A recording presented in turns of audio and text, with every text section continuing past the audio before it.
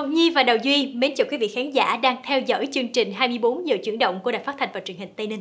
Thưa quý vị, trong chuyên mục Cà phê không đường của số trước, chúng tôi đã chia sẻ đến quý vị về chuyên án A720P đã thành công phá đường dây buôn ma túy khủng xuyên quốc gia vào Việt Nam, bắt giữ 27 đối tượng và thu giữ gần 170 kg ma túy. Ừ, 170 kg ma túy, một con số khủng phản ánh tình hình phức tạp về tội phạm và tệ nạn ma túy đang diễn biến phức tạp hiện nay. Và những thủ đoạn tinh vi trong đường dây ma túy cực lớn này sẽ được chúng tôi khai thác sâu hơn trong chuyên mục Cà phê không đường hôm nay.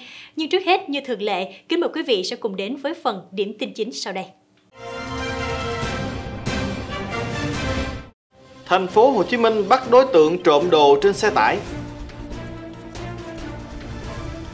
Chuyên mục Nóng trên mặt báo, lúc này ai cũng có thể mắc Covid-19 bất cứ lúc nào. Cù lao nhãn ở miền Tây. Xây nhà bằng gạch xếp hình, dễ dàng tái sử dụng.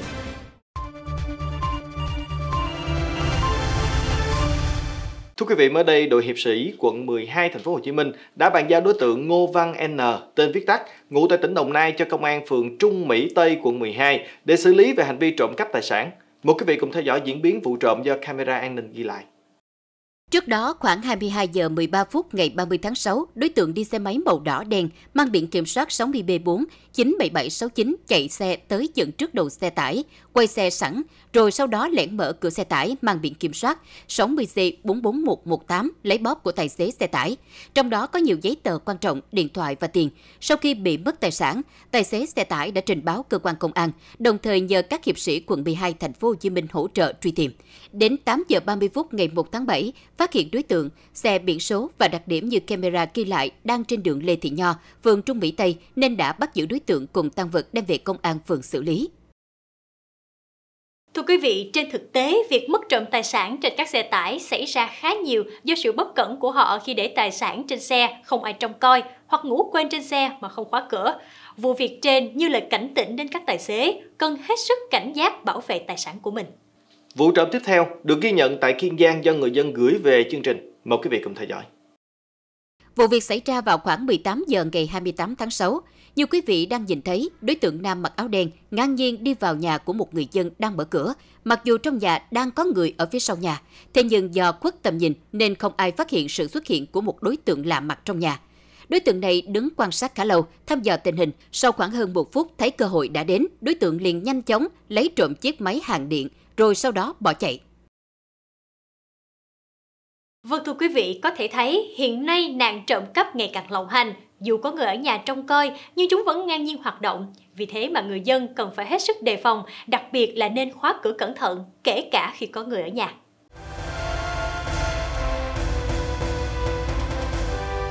Thưa quý vị và các bạn, theo các số liệu thống kê thì gần đây số ca mắc Covid-19 không có triệu chứng lại có chiều hướng tăng cao. Điều này dấy lên lo ngại bất kể ai cũng có thể mang trong mình mầm móng của virus. Vâng, điều này cũng khiến cho chúng ta cần có sự thay đổi về cách sống và cách nghĩ trong tình hình hiện nay. Đó là gì? Mời quý vị sẽ cùng đến với bài viết đáng suy ngẫm sau đây. Thay đổi cách sống và cách nghĩ là tựa của bài viết đăng tải trên báo Tuổi Trẻ Online. Bài viết nói rằng đại dịch sau 2 năm bùng phát đã hiện diện ở 219 quốc gia, vùng lãnh thổ với trên 182 triệu ca mắc, cướp đi sinh mạng của gần 4 triệu con người. Có thể nhận thấy càng ngày kẻ thù virus corona càng khó lường cả về quy mô, mức độ, tốc độ và tính chất lây bệnh. Qua nhiều chu kỳ biến hóa, kẻ thù của con người này đã khác. Từ việc chỉ lây nhiễm qua các giọt bắn, các nhà nghiên cứu xác định virus này còn có khả năng lây qua đường không khí từ một chủng virus đơn thuần đã đẻ ra hàng loạt biến chủng nguy hiểm.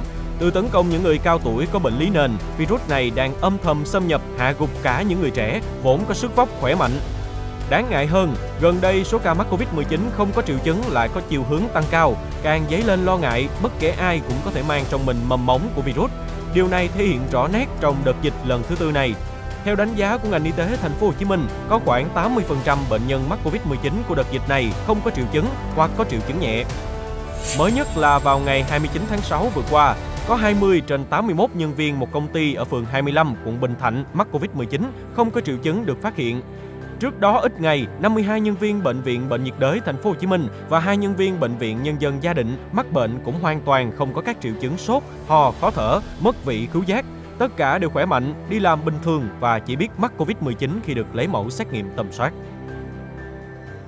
Có nhiều phân tích về nguyên nhân của việc người bệnh không có triệu chứng như là độc lực chưa cao hoặc là lượng virus xâm nhập chưa đủ lớn, sức đề kháng của cơ thể người bệnh cao hoặc là đang trong giai đoạn ủ bệnh. Nhưng rõ ràng việc một người không biết mình có bệnh nếu không được xét nghiệm tầm soát sẽ vô cùng nguy hiểm cho cộng đồng. Câu hỏi lớn nhất lúc này là làm sao để đối phó và đi đến chặt đứt sự biến hóa khó lường của dịch bệnh. Thực ra ở mỗi chu kỳ phát triển của virus thì chúng ta đều có sự nhận thức về mức độ nguy hiểm và đưa ra các chiêu thức khắc chế.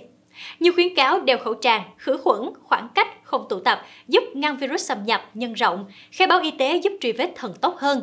Tiêm vaccine làm giảm sự tấn công của các chủng virus. Xét nghiệm tầm soát diện rộng để bắt các F0 lang thang, cả triệu chứng lẫn không triệu chứng. Tuy vậy, thực tế cũng cho thấy trong cuộc chiến với virus corona có lúc con người hụt hơi và việc phải rượt đuổi vẫn chưa có hồi kết. Và khi chưa thể chiến thắng Covid-19 thì điều chúng ta cần làm lúc này là tìm cách khống chế không để cho số ca mắc và số người tử vong tăng thêm. Do vậy, giải pháp huy động lực lượng lấy mẫu xét nghiệm với công suất 500.000 mẫu một ngày, song song với tiêm vaccine cho người dân mà thành phố Hồ Chí Minh đang thực hiện là giải pháp căn cơ. Nhưng giải pháp này cần phải được thực hiện thường xuyên, liên tục cho đến khi vaccine phủ sóng đủ độ miễn dịch cộng đồng. Còn mỗi cá nhân chúng ta hãy à, ngồi yên, nghiêm chỉnh thực hiện các biện pháp phòng ngừa khi chính quyền hoặc là ngành y tế cần. Thay đổi cách sống với cách nghĩ là có thể mắc Covid-19 bất cứ lúc nào cũng là điều nên làm lúc này.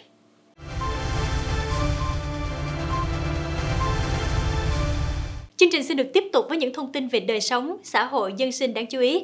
Thưa quý vị, xã Tân Thành, thành phố Cà Mau là vùng nuôi cá trình, cá bóng tượng nhiều nhất tỉnh Cà Mau. Ảnh hưởng của dịch bệnh Covid-19 khiến nhu cầu tiêu thụ giảm mạnh, giá các loại cá nuôi nước ngọt mà nhất là cá trình, cá bóng tượng giảm sâu và tiêu thụ hết sức khó khăn. Phản ánh của cộng tác viên chương trình tại địa phương. Khoảng một tháng này, giá cá trình, cá bóng tượng liên tục giảm khiến cho nhiều hộ nuôi lâm vào cảnh đứng ngồi không yên. Gia đình ông Tăng Hồng Quân có 10 ao nuôi cá trình, cá bóng tượng với diện tích gần 1 hecta trừ đi số cá giống mới thả cách đây vài tháng khoảng 400 con. Số còn lại hơn 100 con đang trong giai đoạn xuất bán nhưng vẫn còn nằm chờ ở trong ao, chưa tiêu thụ được. Kéo dài hai tới Tết thì cái ờ, nuôi không có lời nhiêu không có lời tại chi phí khi nó vừa mua lại thì giá nó có không cao nữa mình đợi nó phải đợi thị trường có đường ra thì nó mới mua của mình giá cao gần thời gian đó thì mình cận tết thì mình phải vừa tắt cá trả tiền cá mồi nè tiền cá giống nè hoặc để mình cải tạo đìa lại đó lấy nước ở mùa hạn đó thì chi phí nó không có lợi. Ông Quân cho biết giá cá mồi hiện nay khoảng 13.000 đồng một ký. Với 10 ao cá hiện nay của gia đình ông thì tốn lượng rất lớn thức ăn cho cá. Ngoài ra, người nuôi còn phải đối mặt với việc thương lái sẽ ép giá khi cá có kích cỡ lớn. Hiện tại giá cá bóng tượng loại 1 chỉ có 170.000 đồng đến 200.000 đồng một ký. Giá cá chình chỉ khoảng là 340.000 đến 360.000 đồng một ký. Đáng nói ở đây là giá cá giảm sâu nhưng thương lái vẫn ngừng thu mua, nên giờ người dân muốn bán cũng không được, còn trữ lại nuôi tiếp thì phải đối mặt với thua lỗ.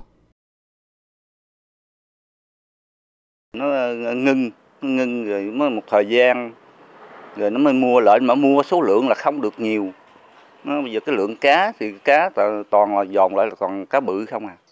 Bây giờ cái cuộc sống của dân thì nhờ cái chăn nuôi cá nhưng mà giờ nó cái nó không xuất khẩu được thành ra là cái cái việc mà nuôi cá của người dân nó không được ổn định Xã Tân Thành, thành phố Cà Mau hiện có hơn 500 hộ nuôi cá chình cá bóng tượng với diện tích hơn 240 hecta. Để có một ký cá thương phẩm, người nuôi phải nuôi từ 8 tháng đến hơn một năm. Vì thế, các hộ nuôi cá trình cá bóng tượng hiện nay đang đứng ngồi không yên bởi chi phí cá giống, thức ăn, thuốc trị bệnh đội lên quá cao. Nếu giá cá cứ ở mức thấp như hiện nay, nông dân cầm chắc thua lỗ. Còn tại Quảng Ngãi, xác định trong phòng chống và dập dịch thì khâu ngăn chặn dịch bệnh từ các cảng cá là hết sức cấp bách, nên việc kiểm soát dịch bệnh ở tuyến biển được đặc biệt chú trọng. Lực lượng biên phòng, công an, y tế các địa phương đã chốt chặn 24 trên 24 tại các khu vực cảng cá có nguy cơ cao. Sau chuyến đánh bắt xa bờ, những ngư dân đi trên tàu cá của Bình Định đã cập cảng cá Tịnh Kỳ, cảng Sa Huỳnh, Thọ Quang nơi neo đậu, buôn bán hải sản của các tàu cá Bình Định, Quảng Bình đang bị phong tỏa do Covid-19, nên các chủ tàu phải chạy vào Tịnh Kỳ để bán cá và mua nhiên liệu. Khai báo y tế, lịch trình đánh bắt được các ngư dân thực hiện nghiêm túc. Do dịch đó, do dịch là thông báo tuyên truyền của cả nước đó, rồi mình phải khai báo. Dịch là mỗi người là phải ờ, phòng chống ờ, dịch là phải bản thân mình rồi cho cộng đồng nữa. Mỗi ngày, cảng Tịnh Kỳ, thành phố Quảng Ngãi tiếp nhận cả trăm tàu cập bến để làm giấy tờ ra vào cảng. Nhiều tàu cá của người dân ở các tỉnh, thành khác cũng vào đây để tránh dịch. Công tác phòng chống ngăn ngừa dịch COVID-19 đang được lực lượng bộ đội biên phòng kiểm soát chặt chẽ. Tất cả ngư dân trước khi vào cảng bán cá đều phải khai báo y tế và đo thân nhiệt. Trạm đã tiến hành thành lập chốt kiểm dịch tại trạm vừa thực hiện công tác kiểm tra kiểm soát theo nhiệm vụ, vừa kê khai y tế, ờ, kê khai danh sách phục vụ ờ, cho công tác phòng chống dịch Covid, phối hợp chặt chẽ với các địa phương trên địa bàn cũng như địa phương lân cận để kịp thời thông báo đến cho các địa phương những tình trường hợp đi từ vùng dịch về để địa phương có biện pháp ờ, ngăn chặn kịp thời và đưa đi cách ly theo đúng quy định đồng thời làm tốt công tác tuyên truyền, vận động bà con chấp hành nghiêm công tác phòng chống dịch theo 5K của Bộ Y tế. Tại các cảng cá ở Quảng Ngãi, chính quyền các địa phương cũng đã thành lập các chốt kiểm tra y tế. Tất cả người ra vào cảng đều bắt buộc thực hiện các quy định phòng chống dịch COVID-19. Quý vị thân mến, tiếp tục chương trình thì Đạo Duy sẽ đưa tất cả quý vị đến với Đồng Tháp để cùng khám phá Cù Lao An Hòa. Nơi này được biết tới là một vùng chuyên canh nhãn lâu năm. Loài cây này đã mang lại kinh tế sung túc cho người dân ở nơi đây. Sau nhiều lần chuyển đổi thì bà con địa phương đã quyết định là gắn bó với giống nhãn Ido tạo nên thương hiệu nhãn Châu Thạch. Mời quý vị về miền Tây để trải nghiệm cù lao nhãn quý vị nhé. Nằm giữa con sông Tiền và sông Sa Đéc, cù lao An Hòa được thiên nhiên ưu ái cho đất đai phù sa màu mỡ, kết hợp với đất cát rất phù hợp cho cây nhãn phát triển. Sau những thăng trầm từ những giống nhãn như nhãn lông, nhãn da bò, người dân nơi đây đã mang về trồng thử nghiệm giống nhãn ngoại lai Idol Giống nhãn này dễ canh tác, đặc biệt là không bị bệnh đầu lân, đem lại lợi nhuận cao, nên mọi người nhân rộng mô hình phủ xanh khắp vùng Cù Lao bằng những gốc nhãn 20 năm tuổi, vươn lên trở thành thủ phủ của cây nhãn, được công nhận thương hiệu nhãn Châu Thành. Tại vì nhãn nhãn kia trước trước khi là coi như nó đầu lẫn, rồi mình bỏ bỏ mới trồng qua cái nhãn này. Sau thời gian này trồng nhãn này thì nó cũng có ăn được đây đây là đặc sản cái địa phương ờ, là coi như là luôn đó là đặc sản nhãn luôn từ hồi đó tới giờ luôn theo các nhà vườn chia sẻ, một năm nhãn có hai vụ, mỗi vụ 1.000 mét vuông đất cho năng suất khoảng 2 tấn nhãn, được thương lái đến tận nơi thu mua với mức giá hơn 20.000 đồng một ký, lợi nhuận khoảng 20 triệu đồng. Tuy nhiên, họ cũng cho biết hiện tại giống cây này cũng bước vào thời kỳ bấp bênh, có những lúc giá xuống cực thấp 12 đến 13 ngàn, không thể lấy lại được vốn nhưng người dân ở nơi đây ai cũng tin tưởng sau khi dịch bệnh qua đi, cây nhãn Châu Thành sẽ lấy lại được vị thế của mình. Song song đó, Châu Thành cũng đã định hướng nâng cao chất lượng trái nhãn, trồng theo hướng nông sản sạch, tăng cường chế biến để đầu ra luôn được đảm bảo, giữ vững giá trị cho cây nhãn nơi đây.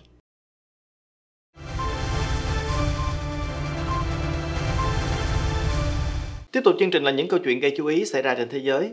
Thưa quý vị, nền kinh tế hầu hết của các quốc gia trên thế giới đều phải chịu tác động tiêu cực từ đại dịch Covid-19. Trong đó, lực lượng lao động làm việc trong lĩnh vực vận tải đã trải qua một năm rưỡi đầy khó khăn. Thế nhưng cũng trong hoàn cảnh như vậy, nhiều người lại tìm ra cách kiếm tiền khác biệt. Ít ai có thể nghĩ rằng sự yêu mến đối với các ngôi sao K-pop của người hâm mộ Thái Lan đang giúp đỡ phần nào những tài xế xe túc túc, một trong những đối tượng bị ảnh hưởng nhất bởi sự tàn phá của đại dịch đối với ngành du lịch của nước này. Chiếc xe túc túc của anh Samran Thamasa đã bị bỏ trống hơn một năm nay. Song trong vài tháng trở lại đây, anh Samran kiếm được khoảng 600 bạc, tương đương gần 20 đô la Mỹ một tháng khi nhận đăng quảng cáo liên quan đến các nhóm nhạc thân tượng K-pop trên xe của mình. Số tiền này nếu tính ra không phải là nhiều, nhưng có thể giúp anh Samran chi trả cho các hóa đơn điện nước.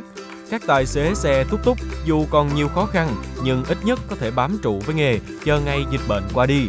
Thông thường người hâm mộ Thái Lan sẽ trả tiền cho các quảng cáo đăng trên tàu điện trên cao, tàu điện ngầm của thành phố. Nhưng gần đây, nhiều quảng cáo đã được chuyển sang hiển thị trên các phương tiện khác, bao gồm cả xe túc túc và các xe bán thức ăn đường phố. Một công ty ở Đức mới đây đã giới thiệu ra công chúng một loại gạch lắp ghép rất đặc biệt, dễ dàng tái sử dụng, tiết kiệm 75% vật liệu và được đánh giá là cuộc cách mạng hóa ngành xây dựng. Ngôi nhà ở Đức này được xây dựng tương tự như cách trẻ em chơi xếp hình Lego, sản phẩm do công ty Polycare ở Đức nghiên cứu và phát triển.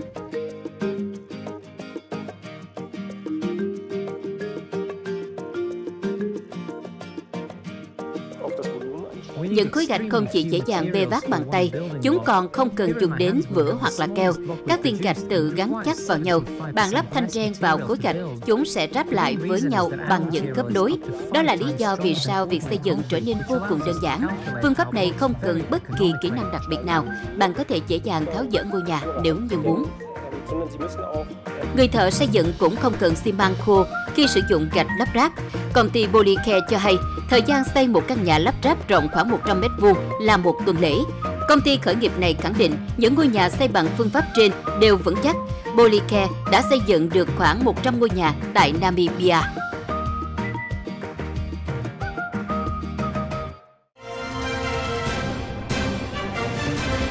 Liên tục chương trình, chuyên mục cà phê không đường, hành trình triệt phá đường dây ma túy cực lớn, chuyên án A720P thành công. Người đàn ông cầm dao uy hiếp phụ xe buýt giữa phố Hà Nội. Chuyên mục chuyện ngày mới, ấm tình người với bếp ăn không đồng.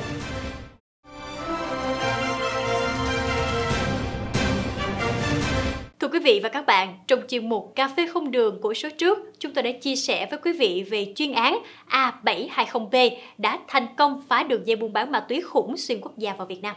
Và ngay sau đây thì cho phép chúng tôi xin mời quý vị cùng tiếp tục tham gia vào hành trình triệt phá đường dây ma túy cực lớn do cựu cảnh sát Hàn Quốc cầm đầu qua phóng sự đặc biệt do cộng tác viên của chương trình thực hiện.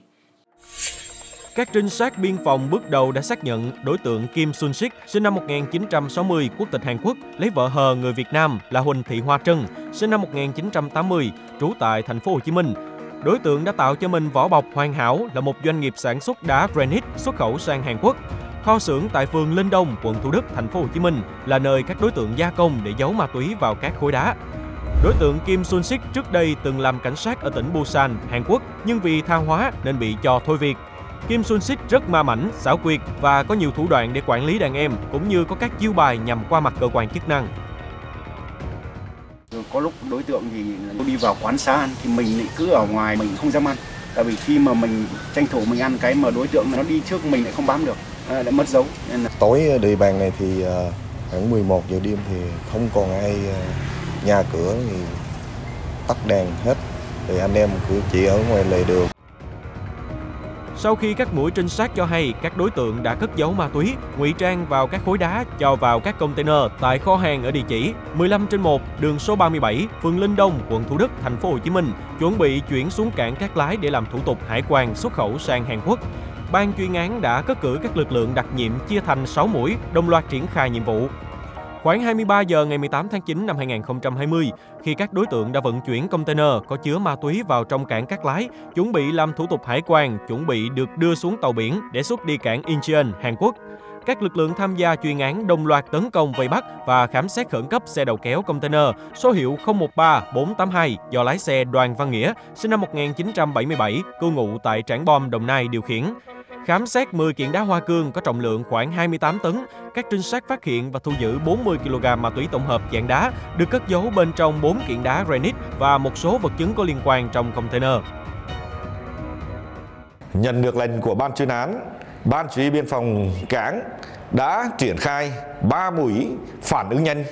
Mũi thứ nhất là lực lượng trinh sát vào xác định các vị trí các container có nghi vấn chứa ma túy chuẩn bị đưa lên tàu để xuất đi Hàn Quốc. Mũi thứ hai, bao vây, phong tỏa, áp sát vào ngoài, sẵn sàng chờ lệnh. Mũi thứ ba là lực lượng cơ động sẵn sàng thực hiện nhiệm vụ cho chuyên án, ban chuyên án khi có lệnh. Cùng thời điểm đó, các mũi trinh sát đồng loạt khám xét khẩn cấp 6 tụ điểm trong đường dây mua bán ma túy xuyên quốc gia tại thành phố Hồ Chí Minh, bắt tạm giữ 7 đối tượng, trong đó 4 đối tượng là người nước ngoài là Kim Sun Sik, Kang Sen Hak, quốc tịch Hàn Quốc, Lee Chun Hao, Lee Tian Quang, quốc tịch Trung Quốc. Đối tượng Huỳnh Thị Hoa Trân thu giữ 27 viên nén nghi ma túy tổng hợp, 6 gói nhỏ tinh thể màu trắng, một gói tinh thể màu xanh nghi ma túy tổng hợp dạng đá. Qua đấu tranh khai thác ban đầu, các đối tượng đều thừa nhận liên quan trực tiếp đến lô hàng và khai nhận đó là ma túy được ngụy trang cất giấu trong container để xuất khẩu.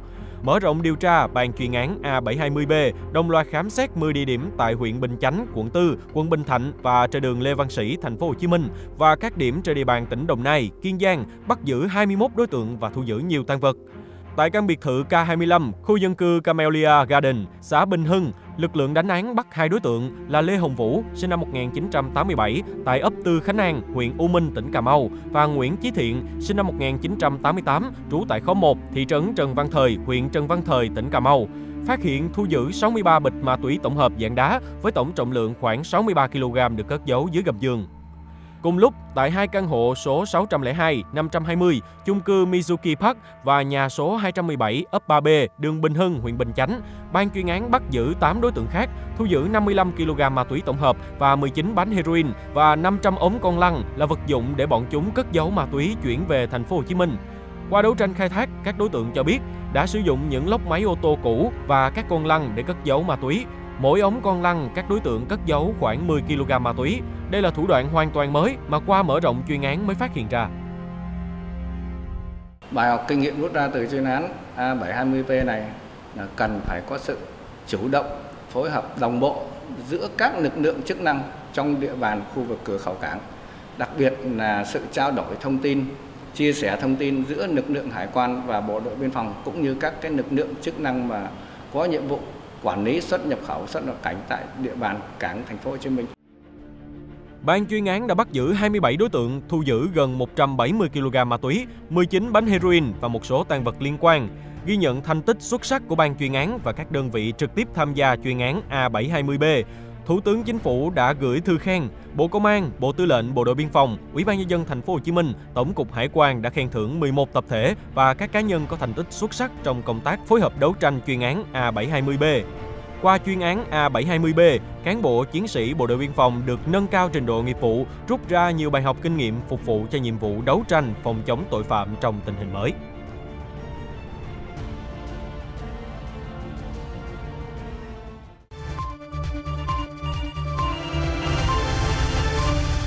Tiếp tục 24 giờ chuyển động hôm nay là những thông tin nóng mà chương trình đã cập nhật. Một đám cháy lớn đã xảy ra tại căn nhà trên đường Đặng Văn Bi, thành phố Thủ Đức, thành phố Hồ Chí Minh vào tối ngày 2 tháng 7. Hậu quả, một người được xác định đã tử vong. Theo đó, khoảng 19 giờ 20 phút cùng ngày, nhiều người dân phát hiện căn nhà trong hẻm đường Đặng Văn Bi, phường Trường Thọ bốc cháy dữ dội nên hô hoáng. Nhiều người xông vào dập lửa nhưng không thành, đám cháy bùng phát dữ dội. Nhận tin báo, Công an thành phố Thủ Đức đã huy động lực lượng có mặt triển khai công tác cứu hộ, đám cháy được khống chế sau đó. Qua kiểm tra, lực lượng phát hiện một thi thể tử vong bên trong căn nhà trên. Nạn nhân là người phụ nữ bước đầu xác định hơn 50 tuổi, chuyên bán ve chai. Căn nhà nơi xảy ra cháy được người này thuê lại để buôn bán ve chai. Con hẻm nơi xảy ra vụ cháy bên cạnh khu vực đang được cách ly. Hiện công an vẫn đang phong tỏa, khám nghiệm hiện trường vụ cháy, danh tính nạn nhân vẫn chưa được xác định. Tiếp tục là thông tin về một vụ tai nạn liên hoàn giữa 10 xe ô tô xảy ra tại km 289 600 quốc lộ 1 đoạn qua phường Bắc Sơn, thị xã Bỉm Sơn, tỉnh Thanh Hóa, khiến nhiều người không khỏi kinh sợ. Vụ tai nạn được camera hành trình của một ô tô gần hiện trường ghi lại. Theo đó, khi đang lưu thông trên đường, chiếc xe bồn bất ngờ tông thẳng vào những xe ô tô chạy phía trước. Cú va chạm đã khiến 9 xe ô tô gồm xe con, xe tải, xe khách đang di chuyển theo hướng Bắc Nam tông liên hoàn gây thiệt hại nghiêm trọng. Có chiếc xe con bị dập nát hoàn toàn phần đầu. Vụ việc khiến một người tử vong tại chỗ, 5 người khác bị thương được đưa đi cấp cứu. Giao thông qua khu vực gặp nhiều khó khăn. Ngay sau đó, lực lượng chức năng địa phương xã Bỉm Sơn, Thanh Hóa đã lập tức có mặt giải quyết vụ việc. Nguyên nhân vụ tai nạn đang được các đơn vị nghiệp vụ tỉnh Thanh Hóa điều tra làm rõ. Mới đây trên mạng xã hội xuất hiện một đoạn clip ghi lại cảnh một người đàn ông cầm dao uy hiếp phụ xe buýt giữa phố Hà Nội đang nhận được nhiều sự quan tâm từ phía cộng đồng mạng và nguyên nhân xuất phát từ một vụ va chạm giao thông. Theo hình ảnh ghi lại được cho thấy, một chiếc xe buýt và một chiếc xe ô tô con đang dừng ngay giữa đường. Trong khi đó, nam phụ xe và người đàn ông cầm lái chiếc xe ô tô con đang xảy ra tranh cãi rồi thách thức nhau. Trong quá trình nói chuyện, phụ xe buýt đã cầm gậy định vụt tài xế ô tô con. Sự việc bị đẩy lên đến đỉnh điểm khi lái xe ô tô con đã chạy về xe lấy dao rồi kéo phụ xe xuống đường uy hiếp, khiến nhiều người chứng kiến hoảng sợ. Sau cùng, điều tồi tệ và tất cả lo sợ đã không xảy ra, nhưng xích mích giữa hai bên đã khiến các phương tiện lưu thông qua đây gặp rất nhiều khó khăn. Được biết, nguyên nhân dẫn đến vụ việc này là do cả hai phương tiện đã va chạm giao thông trước đó. Ngay sau khi được đăng tải, đoạn clip đã nhận về nhiều ý kiến trái chiều từ phía cộng đồng mạng. Tuy nhiên, đa số mọi người đều tỏ ra bức xúc trước cách hành xử thiếu bình tĩnh của cả hai bên. Vâng thưa quý vị, va chạm giao thông là điều không ai muốn, nhưng quan trọng là cách cư xử và xử lý tình huống của đôi bên sẽ như thế nào. Thực tế với không ít vụ va chạm, lẽ ra người trong cuộc có thể xử lý một cách nhẹ nhàng, thì sự việc lại bị đẩy lên đến mức đỉnh điểm chỉ vì những giây phút nóng giận. Vì thế, nâng cao ý thức tránh cả giận mất khôn trong những trường hợp sau va chạm giao thông là hết sức cần thiết để tránh những điều đáng tiếc có thể xảy ra.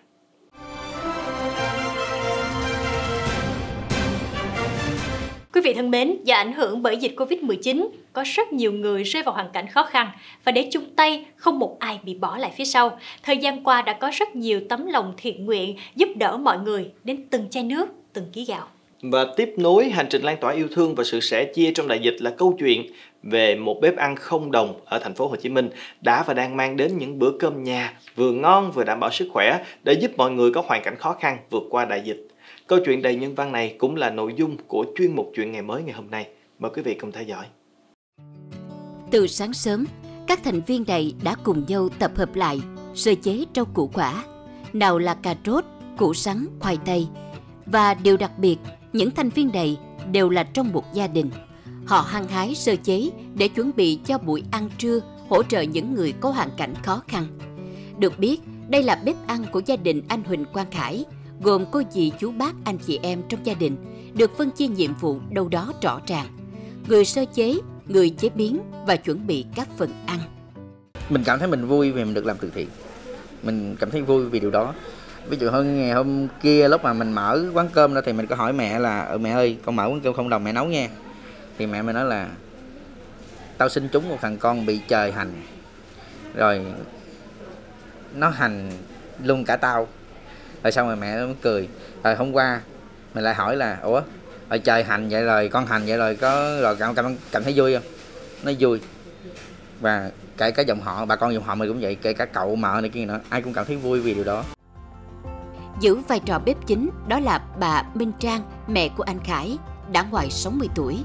Hiện giờ, niềm vui lớn nhất đối với bà, đó chính là cùng con trai mình nấu những phần ăn chứa đầy tình yêu thương để giúp những người gặp khó khăn có một bữa ăn ấm áp. Ngày qua ngày, bà Trang nấu cả trăm phần ăn, mỗi phần, mỗi một món ăn đều được bà nấu bằng cả tâm huyết và tình thương của mình. Không riêng vì tôi, không riêng vì con tôi, à, những người đến đây phụ giúp mà cả chị em trong nhà họ nhìn thấy họ cũng cảm thấy họ cũng vui lây luôn á họ thấy là mình chia sẻ đi cái gì à, à, chia sẻ đi thì cũng thấy trong lòng mình rất là vui. Rất là phấn khởi. Vốn chỉ nhà của anh trước đó đã làm những công việc từ thiện khác, nên ngay sau khi bếp ăn được thành lập, dù chỉ mấy ngày, nhưng đã nhận được nhiều sự ủng hộ từ nhiều người thân thiết hoặc bà con láng giềng, người bạn đồng nghiệp, người góp của, người góp công. Cứ như vậy, bếp ăn của gia đình anh khải không những đầy ấp lương thực mà còn trộn tràn với nhiều đầu bếp tham gia khi mà thấy những người lao động nghèo á người ta nhận được cái suất cơm á uh, thứ nhất là họ cảm thấy họ rất là xúc động. Họ cảm thấy uh, phải nói là giúp, giống như giúp cho họ được một bữa cơm á uh, biết ơn rất là nhiều. Và điều đó chúng tôi làm được một phần. Thì thấy uh, những người đó cho đến những người đó thì chúng tôi cũng cảm thấy rất là hạnh phúc về cái điều đó. không những chung tay nấu những phần ăn giúp cho người khó khăn mà gia đình anh Khải trước khi có dịch cũng đã dành một căn phòng rộng lớn để dạy học miễn phí. Khi đại dịch thì căn phòng ấy đã trở thành nơi chứa lương thực thực phẩm. Các em nhỏ cũng hay tới lui để phụ giúp bếp ăn. Không làm được những việc nặng nhọc nên các em phụ những việc nhỏ như nhặt rau, thái củ quả, sắp xếp đồ ăn. Đúng 10 giờ 30 phút hàng ngày, các suất ăn được đóng gói hoàn chỉnh và đưa đến tận tay những người cần. Với phần ăn này, người cho đi thì hạnh phúc khi nhìn thấy thành quả lao động của mình có thể giúp đỡ được mọi người, còn người khi nhận được thì không khỏi giấu được sự xúc động. Không những vậy, các bạn trẻ còn mang những phần ăn đến những phương vị phong tỏa, khu cách ly tiếp tế lương thực cho những người dân khó khăn.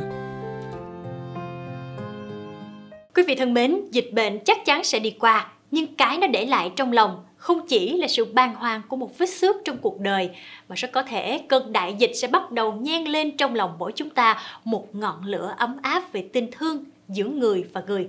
Đến đây thì thời lượng dành cho chương trình 24 giờ chuyển động hôm nay cũng đã hết. Cảm ơn quý vị đã quan tâm theo dõi và đồng hành cùng chương trình.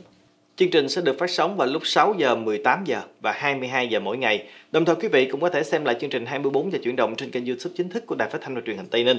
Chúc quý vị sẽ có những ngày cuối tuần vui vẻ bên gia đình và bạn bè. Còn bây giờ, xin kính chào và hẹn gặp lại.